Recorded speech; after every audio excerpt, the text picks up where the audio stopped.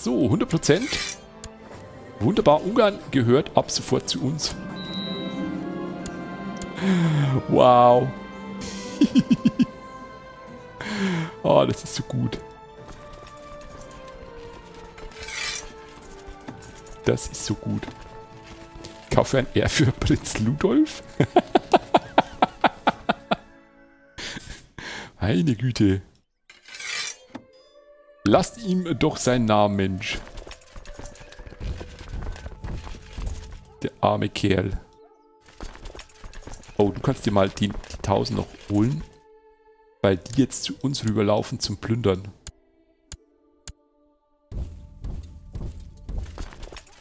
So, ihr geht mal hier hoch, damit die wieder in Stellung sind für Deutschland. Wenn es funzt, will ich nicht erben mit meinem Namen. Der kommt dann ja nicht mehr. Der Erbe kommt ja nicht mehr zum Zug dann. Ich warte jetzt eigentlich nur noch auf das Event, damit wir Englisch werden. Und das war es dann eigentlich mit dem Run. Das hier ist alles Bonus, was ich momentan mache. So, das ist unser Höfling.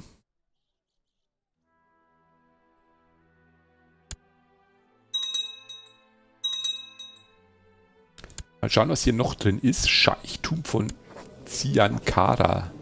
Königreich Thrakien. Äh, jetzt pass mal auf. Scheichtum. Hier unten.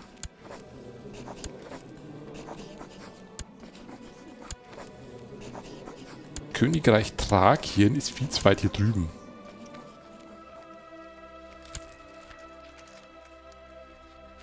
Das hier unten?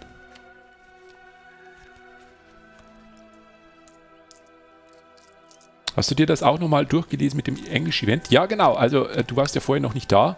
Ich habe mir jetzt hier oben habe einen Titel entzogen hier oben und habe mir eine angelsächsische Domäne noch geholt, weil ich das auch so verstanden habe, dass wir zum einen normannisch sein müssen und zum anderen eine angelsächsische Domäne besitzen müssen.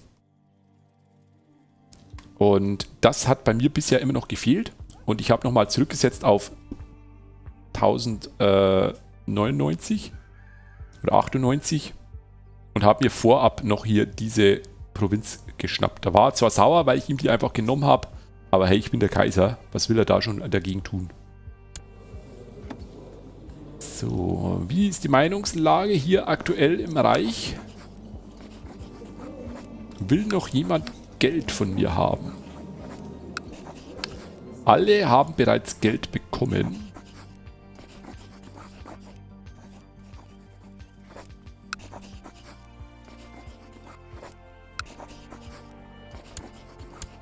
Nun gut. Wer nicht will, der hat schon.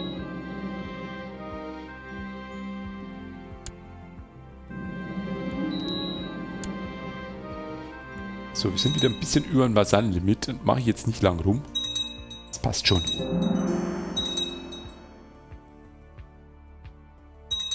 Die Revolte mit 50.000 Mann kommt nicht. Nee, nee. Vielleicht mal maximal so 10.000.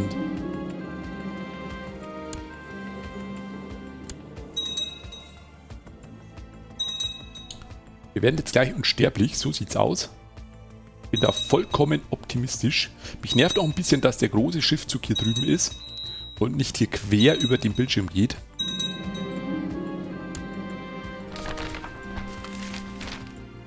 Wir müssen mal ein bisschen im Auge behalten, ob er irgendwie vielleicht mal stirbt oder so. Ah, da ist sie schon. Ist das... Nee, das ist unser Kanzler. Ah, Mystikerin. Okay, wir lassen die Frau mal ausreden. Bitte, bitte. Lass es gut werden. Wenn wir sterben, spielen wir mit Frodo dem Wahnsinnigen weiter. Der nicht wirklich gute Punkte hat hier. Da müssen wir mit Frodo gleich in die Bildung gehen. Er ist normannisch, er ist katholisch, das passt auch. Unsere Frau will immer noch nicht konvertiert werden. Nein wahre Gläubige immer noch.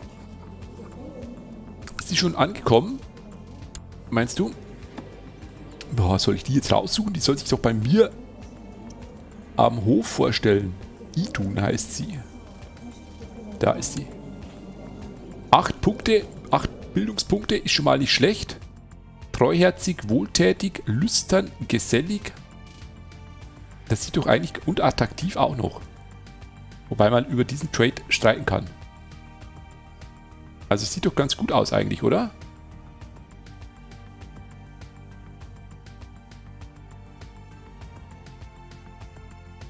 Bildung, graue Eminenz und Mystiker. Basis 4. Oder muss die Basis irgendwie über über 5 oder 6 sein? Na gut, wir machen das einfach mal. Bierstübel.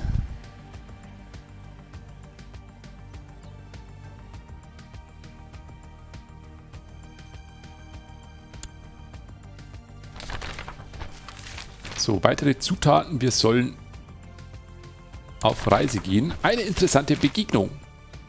Ich werde eure Lehren annehmen, Idun. Das ewige Leben ist mein. Das ist richtig. Machen wir. Heilige Römische Reich existiert nicht mehr. Es gibt nur noch Deutschland.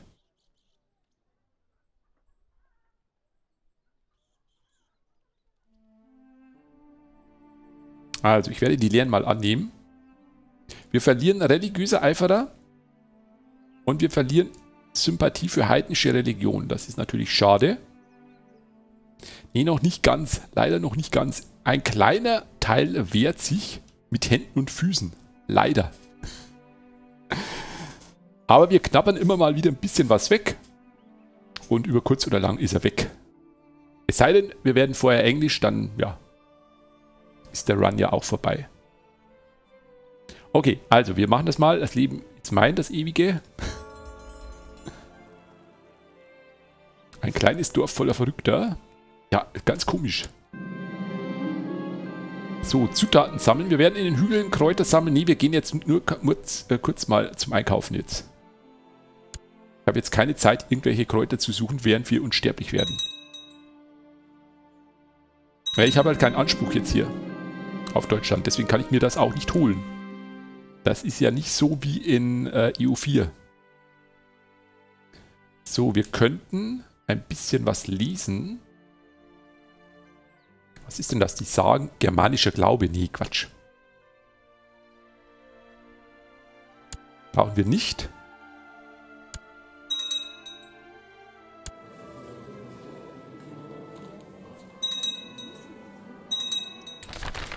Ernstzunehmende Bedenken. Eines Abends sucht euch Prinz Frodo nach dem Abendessen auf. Es beginnt eine Unterhaltung über den Zustand des Handels im Reich. Er fürchtet um unser Leben wegen der Idun. Also er, der wahnsinnige Prinz Frodo. Schau, ob er eins der drei Teile hat, Tollfuß. Also er hat geduldig, fleißig, zynisch, bescheiden, zufrieden, wohltätig, Louis und wahnsinnig. Also er hat eigentlich nichts. Heißt das, er sagt die Wahrheit? Ich will es ihm nicht glauben.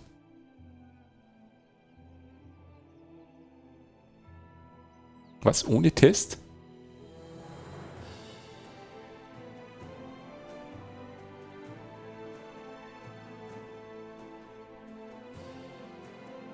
Was meinst du denn mit ohne Test? Clean Arrow, vielen Dank für den Sub. Dankeschön. Achso, wir sollen ihn nicht prüfen lassen. Das heißt, wir nehmen seine Sorgen nicht ernst. Und hier würde er Nachforschungen anstellen dann. Ah, okay.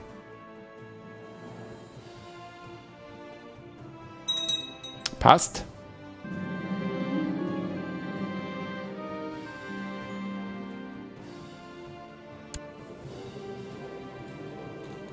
sind alle wahnsinnig irgendwie in meinem Reich. Ich verstehe nicht wieso. Als wäre das irgendwie eine Plage. So, wir haben ein paar Zutaten gefunden in unser überfülltes Inventar hier mittlerweile. König, Wasser und Gold. Okay. Was ist denn das hier oben jetzt? Ähm, wir haben immer noch die Krone ausgerüstet, das passt. Haube von Tokay Yingling. Qualität 2 ist schlechter. Nun gut. Lasst die Mystikerin kommen. Oh, 397 Gold. Wunderbar. Wie sieht es eigentlich aus mit unserem königlichen Palast?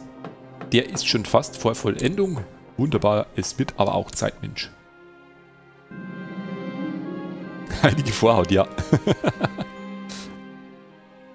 ähm, ich habe mein Fasten mit Wein und Wachteln gebrochen. Wir verlieren gemäßigt. Ah.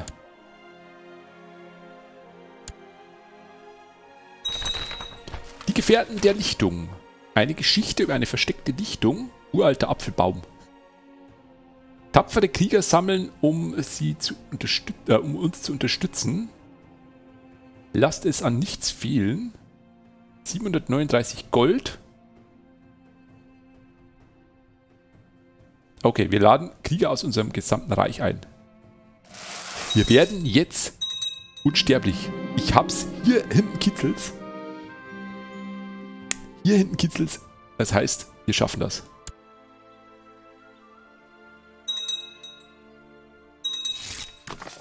Wieso soll ich sie dann einsperren? Dann heirate ich die Idun. Wenn ich unsterblich wäre, heirate ich die Idun.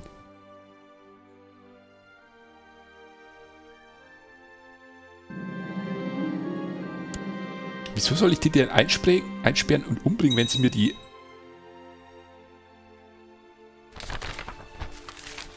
Wenn sie mir die äh, Unsterblichkeit bringt. Eine beschwingte Zusammenkunft. Okay, Krieger sind gekommen. Wir sind ein bisschen nervös bei der Ansprache. Mehr Wein, mehr Wein für alle. Wir halten gesellig. Und ihr habt die erste Quest von Idon mit Erfolg abgeschlossen.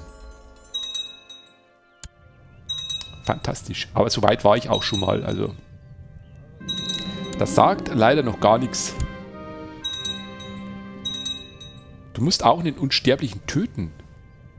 Oh, ist die unsterblich, die Dame? Hat die den Trade dann auch? Idun. Aber die hat kein Trade für unsterblich, oder? Ah, okay. Wenn ich unsterblich werde, dann sehe ich das. Okay. Ein Aufstand mischt sich unter unsere Unsterblichkeit. In irgendeiner unbedeutenden Provinz.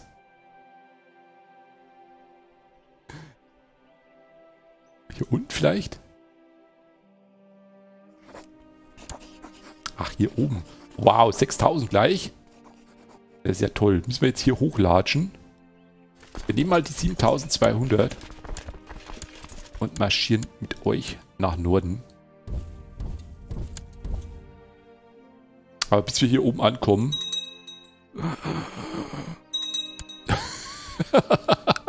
da, der Abdul Hassan mit 72 ist er gestorben. Hat aber noch ein gutes Gesicht für 72 Jahre alt. Mit einem Röcheln ist er verreckt. Mein Charakter starb immer bei der Leben- und Todquest. Der Don ist wieder da. Und dann kann ich noch aufs Highlander-Event warten. Da bin ich ja gespannt. Ah, es wäre so schön. Es wäre so... Du wolltest doch gerade gehen irgendwie, habe ich gelesen. Hast du äh, Abend gegessen? Wahrscheinlich.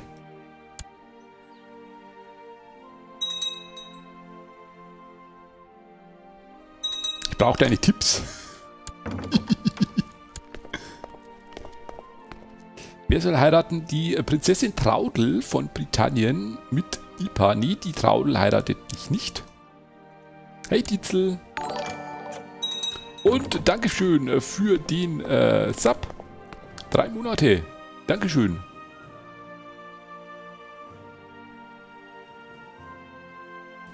Kommen hier lauter Verlöbnisanfragen denn die Traudel ist schon im heiratsfähigen Alter, ne? Oh Gott, oh Gott. Was ist die krank? Klumpfüßig, ungehobelt, muskulös und schüchtern. Fantastische Eigenschaften. Kein Wunder, dass die so viele Verehrer hat.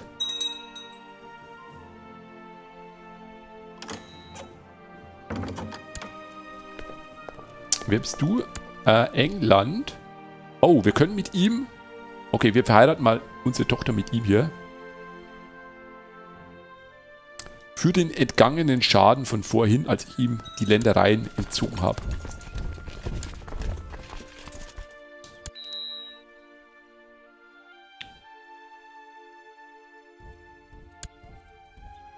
Klasse Vibe.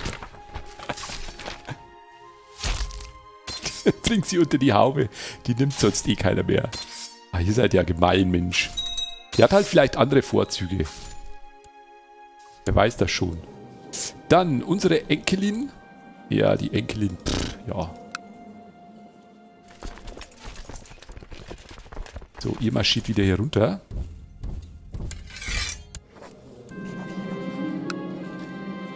Auf geht's. Wo ist meine Mystikerin? Ziemlich gemein, oder? Nahadur, für dich auch. Wichtig ist nur, dass ich den Erfolg vor dir bekomme mit England. Ich dachte, du hast den schon. Ich dachte, du bist schon Englisch. Kultur. Bist du noch nicht katholisch? Das ging nämlich bei uns ruckzuck irgendwie. Wir waren schon irgendwie 200 Jahre äh, katholisch. Ah, du bist noch kein äh, englischer König. Muss ich den englischen Titel auch haben?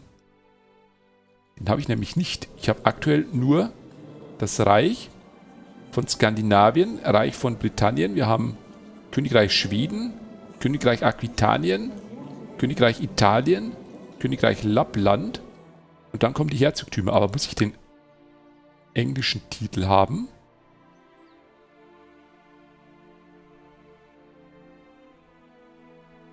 Das wäre blöd. Da habe ich aber nichts gelesen, dass wir englische...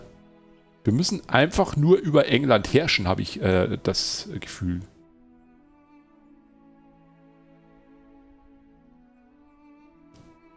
Also, was haben wir denn hier? Ähm, anprangern? Nee.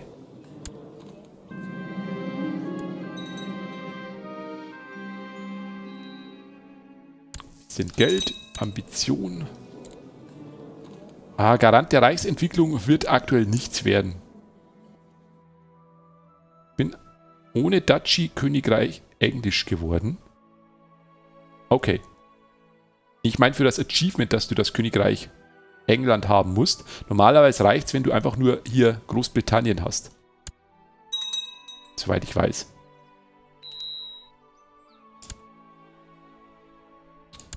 Irgendwie meldet sich meine Mystikerin nicht mehr. Ist wahrscheinlich verstorben. Idun.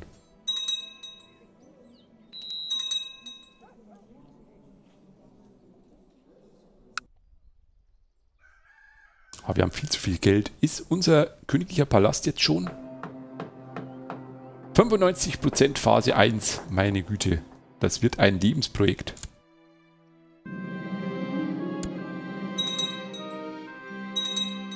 Ich werde mal ein bisschen Geld auch investieren. Damit das nicht auf dem Bankkonto einfach nur rumliegt.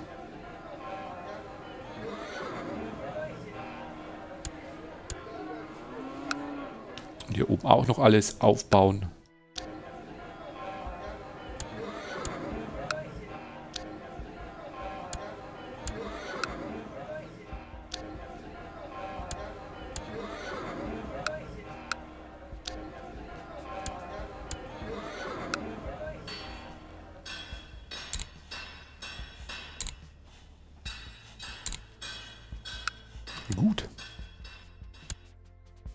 Wir haben jetzt noch einen Waffenstillstand bis 11.11. .11. Ja, wisst ihr was, dann machen wir jetzt mal eben fünf Jahre Frieden. Dann holen wir uns das, die Ambition auch noch. Oh, ein Hindernis auf eurem Weg. Seitdem Idun verkündete, dass die Suche bald stattfinden sollte, wart ihr mit Vorbereitungen beschäftigt. Die Krieger sind gut ausgerüstet, Vorräte zusammengestellt, besten Pferde beschafft. Idun hat Gefährten immer tiefer in die Wildnis geführt. Der Pfad wird immer steiler, nach ein paar Stunden befindet ihr euch auf einem schmalen Bergweg. Ihr passiert eine scharfe Kurve, erblickt ein Hindernis über euch. Felsen aus einer Gerölllawine haben den Weg verschüttet. Idun beharrt darauf, dass dieser Pfad der einzige Weg zu eurem Ziel sei. Immer das Gefährlichere, ja, mit der Wahrscheinlichkeit natürlich, dass wir auch sterben. Ah.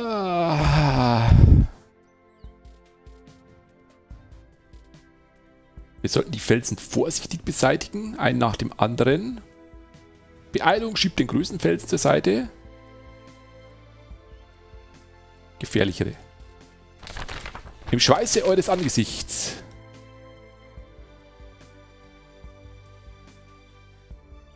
Hat geklappt, oder? Wir erhalten muskulös.